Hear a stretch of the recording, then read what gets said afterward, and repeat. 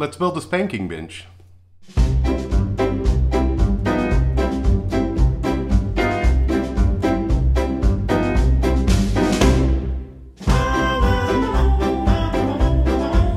Oh, uh, spanking bench 2.0, I might add. So,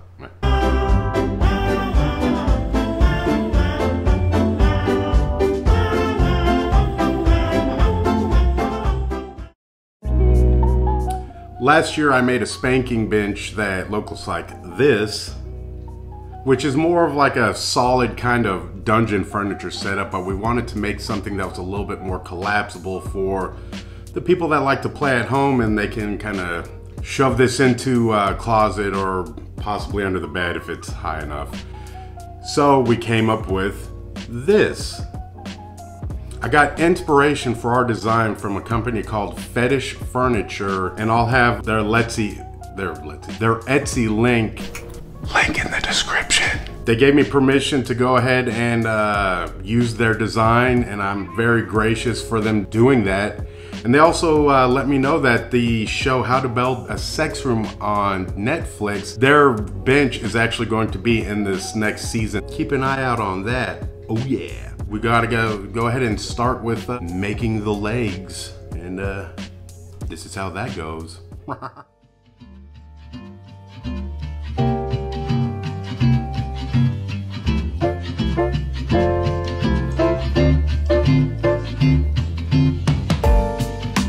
I go ahead and clamp the two pieces of wood together. That way when I'm doing all my measuring and cutting I can actually uh, make them twins at the same time instead of doing one at a time so this also shortens the workload and uh, the time on the workload and makes life a little bit easier.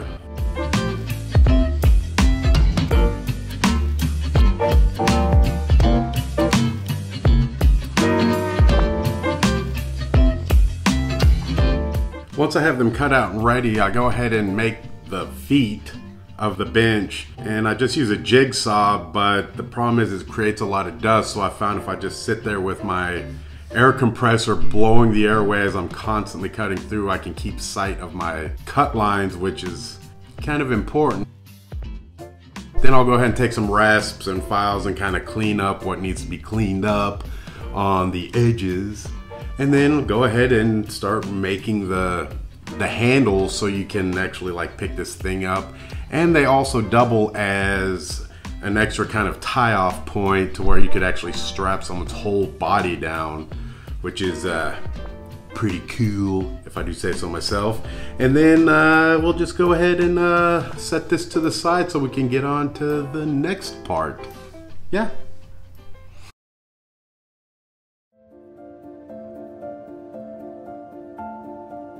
It takes two to lie one to lie and one to listen. Penguin. I, for one, welcome our new insect overlords. After. My cat's breath smells like cat food. Dark. Everything is coming up Milhouse.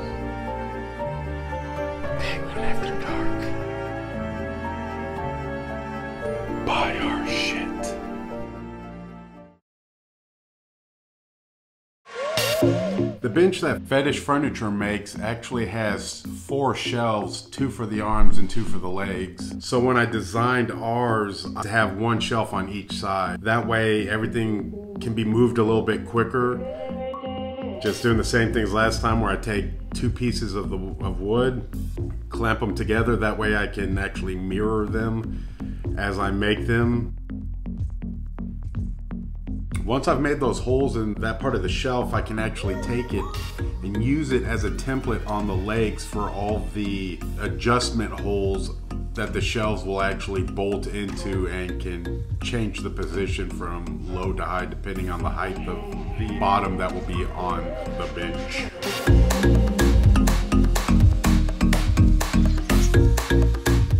And then I take these two sacrificial carriage bolts and I use them to punch squares into the holes. That way I can kind of chisel them out Punch. and go ahead Punch. and uh, punch, punch, punch, punch, punch, punch, punch, punch. can kind of chisel them out and go ahead and uh, when you have the carriage bolt in, it actually sits flush.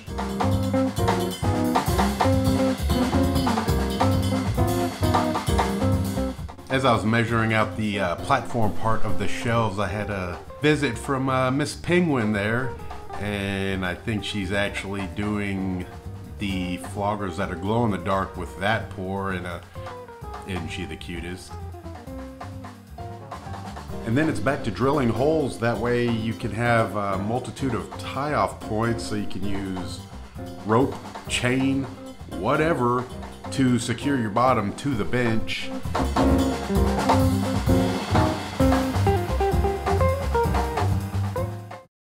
Then I take one of the little round to it. That way if someone asks you to do something, you can throw them one of these and say, hey, I'll, I'll get round to it and I actually convert it into a sanding bit that I can put into my drill and help sand out all the holes. A good friend gave me the idea to do these. Thanks, Moon Moon. And then after that, we go ahead and route all the edges. And we'll go ahead and assemble the two parts of the shelves. And then I add these blocks in here to give a little bit more um, support and rigidity to help support the bottom as they say in the industry. I don't know if they fucking say that or not, but I fucking said it.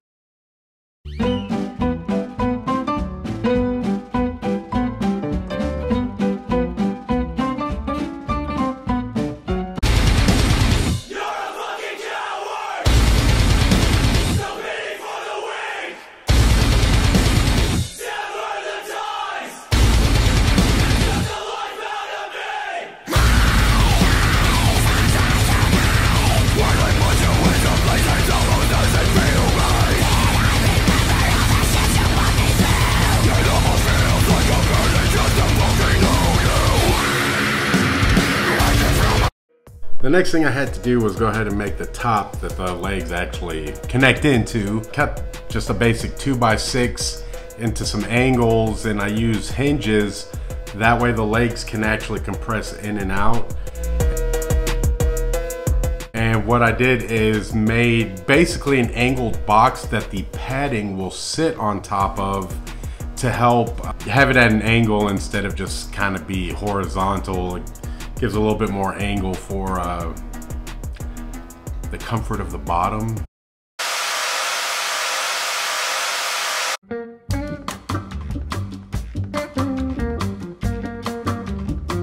So as I was recording that, someone had hit one of the transformers in our area and knocked out power to the entire neighborhood and uh, didn't get to finish narrating that day. And uh, so yeah, we're back at it and a different shirt and a different day to finish doing this shit. So uh, back at it. Uh, hold on, let's see where we are on this thing. Uh, oh yeah, I'm just uh, assembling the, the legs to the top, what I call the slab yeah, we're back at it to finish up this uh, this video. Yeah. Let's go ahead and enjoy this montage of uh, converting my shop into a paint booth. It's really more for preventing overspray from covering all my shit in paint. I mean, it's bad enough this place is just like thick with sawdust that I it's like an uphill battle trying to uh, take care of, but adding paint particles into everything just is unappealing to me.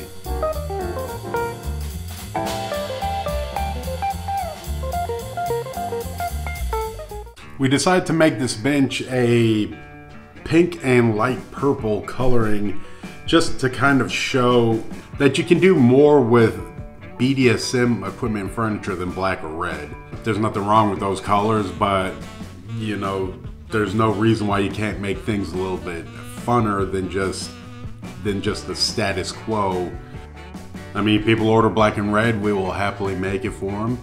But we chose these colors because we we think they're fun and this is actually a spanking bench that we're going to keep and take to events to use as a demo, try to get pre-orders on. Hey to live a little, folks, and uh, have a little fun with life.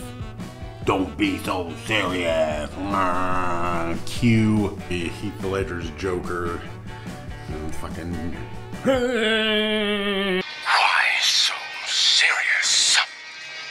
I'm using a three inch upholstery padding to give a little bit extra kind of comfort and support.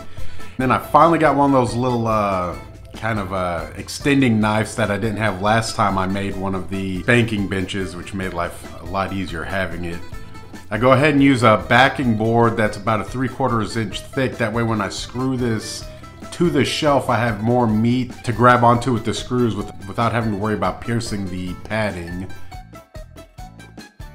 In keeping with the theme of fun color combinations, we decided to use uh, white vinyl to uh, kind of make it look a little bit more interesting. And then as you staple it down, I'm going to tell you use a lot of staples to secure this stuff to the backer boards. And I know any uh, professional or hobbyist reupholsterers or upholsterers are probably going to look at how I'm doing this and just be in shock, but I don't know how the hell I figured out how to do this. I had to research the shit out of it, but it works. So there's that.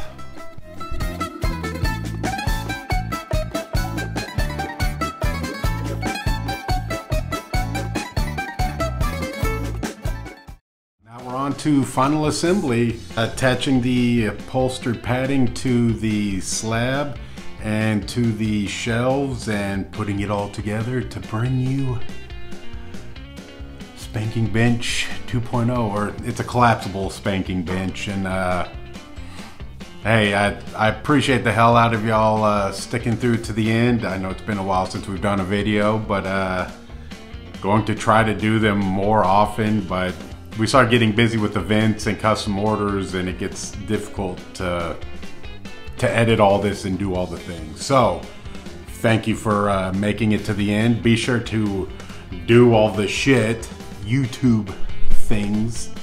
And until next time, peace.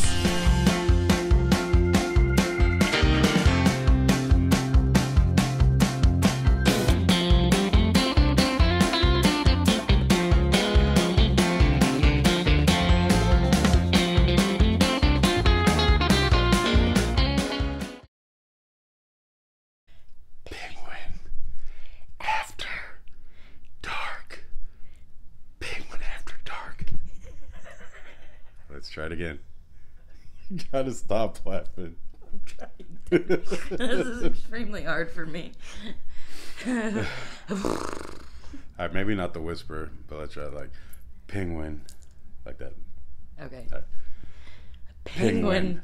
Shit, sorry. you fucked it up.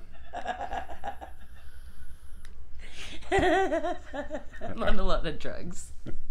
All right. This is the one. Our careers depend on this. Wait, are we whispering or not?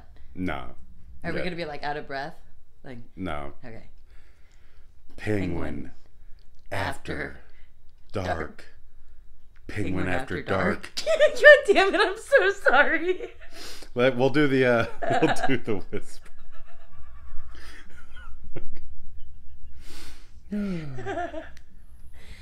this is gonna make great outtakes.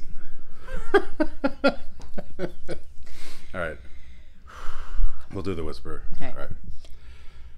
Penguin after dark. Penguin after dark. All right,